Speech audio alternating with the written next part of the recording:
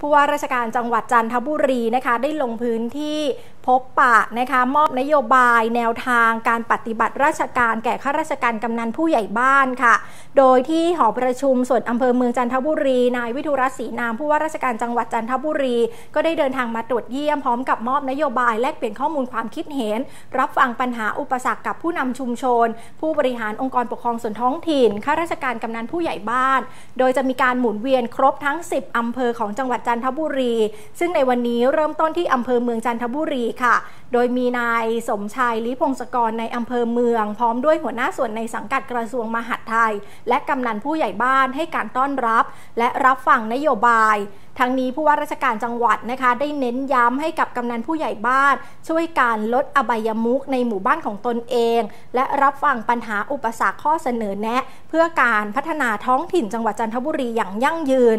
ตอบสนองความต้องการของประชาชนในท้องถิ่นชนบท แต่ละพื้นที่ในรูปแบบประชารัฐ ที่มุ่งเน้นการมีส่วนร่วมของภาคประชาชน ร่วมกันขับเคลื่อนแนวทางนโยบายของรัฐบาล เพื่อประโยชน์ของประชาชน ส่งเสริมอาชีพให้ท้องถิ่นนะคะ ไม่ทิ้งถิ่นฐานสร้างความมั่นคงมั่นคั่งแก่ชุมชน น้อมนำหลักปรัชญาเศรษฐกิจพอเพียงของในหลวงรัชกาลที่ 9 ไปปรับใช้ในชีวิตประจำวัน เพื่อเป็นพลังของจังหวัดจันทบุรี